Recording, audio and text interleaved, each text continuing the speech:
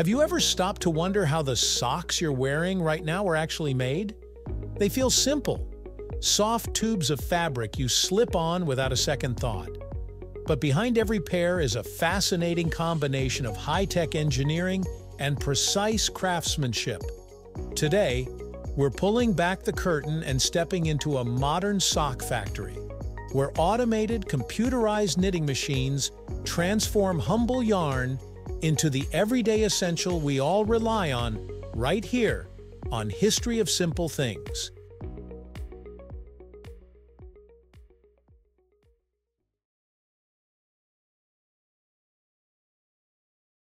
Everything starts with the yarn. Sock manufacturers source different fibers depending on the purpose of the socks.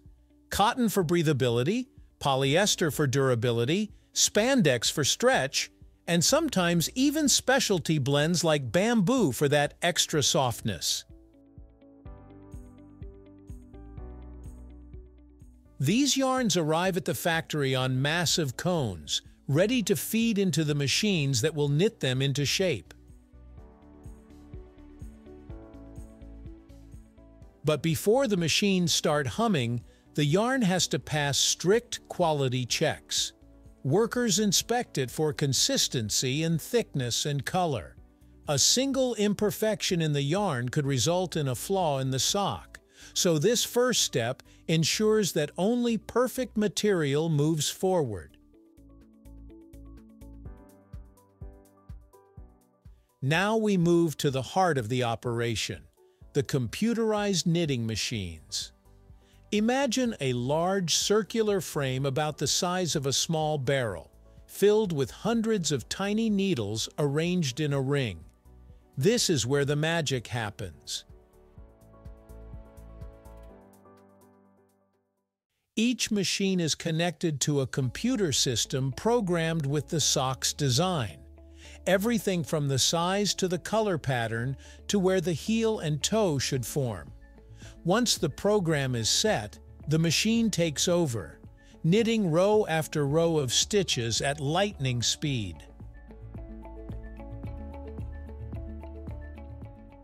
In just a few minutes, it can produce the entire body of a sock seamlessly, without a single human hand involved in the knitting process itself. The knitting happens in a mesmerizing rhythm.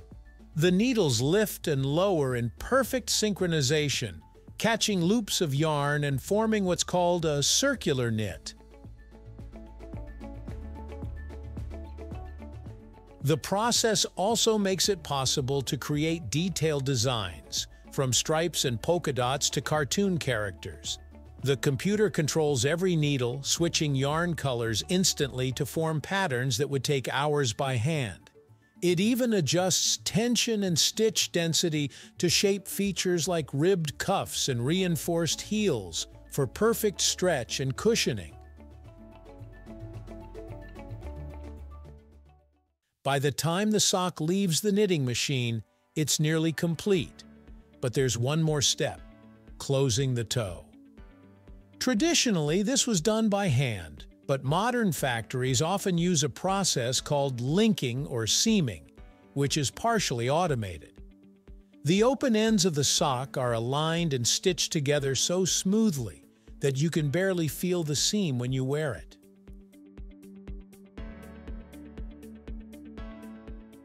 After knitting and toe linking, the socks are floppy tubes of fabric without shape. To fix this, they're pulled over foot-shaped metal molds and sent through a steaming and heating tunnel that locks in their size and form. This step not only makes them look finished, but also ensures they stay in shape after repeated washing and wear. Even with advanced machinery, quality control remains vital. Trained inspectors examine each pair for flaws like uneven stitching, color mismatches, or holes. Some factories use cameras and sensors to detect problems automatically, but the human eye is still unmatched when it comes to spotting tiny defects. Socks that don't pass inspection are removed, repaired, or recycled. leaving only perfect pairs to move forward. Approved socks are then folded, paired, and sometimes pressed flat, with logos or size details printed on them. Finally, they're packaged, either with cardboard sleeves or retail hooks, and shipped to stores worldwide. It's amazing to think that in just a few hours, raw yarn transforms into a finished product that will likely spend years in someone's drawer, rotated through countless laundry cycles, keeping their feet warm and comfortable. You might wonder why so much of this process is automated. The answer is efficiency and consistency.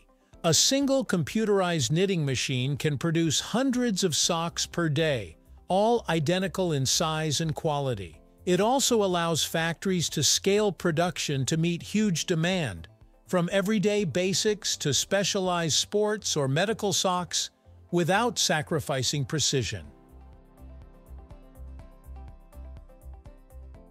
Automation doesn't eliminate craftsmanship, it enhances it. Skilled technicians are still required to program the machines, maintain them, and design new patterns.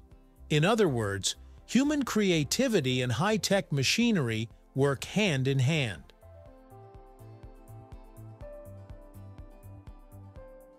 Modern sock manufacturing is also becoming more eco-conscious. Some factories recycle leftover yarn, reduce water usage in dyeing processes, and use energy-efficient machines. There's also a growing trend toward organic cotton and sustainable materials, appealing to consumers who care about both comfort and the planet. When you pull on a fresh pair of socks, it's easy to forget the engineering behind them. What seems like a simple piece of clothing is actually the result of decades of innovation, evolving from hand-knitting traditions to today's computerized machines. So the next time you slip on a pair of socks, remember, there's more to them than meets the eye. Automated knitting machines craft them with speed, precision, and artistry, so you can start your day with something soft and reliable on your feet. Thank you for watching.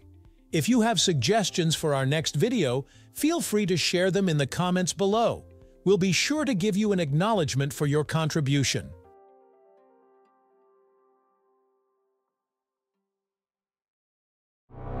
Thank you for joining us on this journey through the history of simple things. Don't forget to like, subscribe, and stay tuned for more stories woven through the smallest details.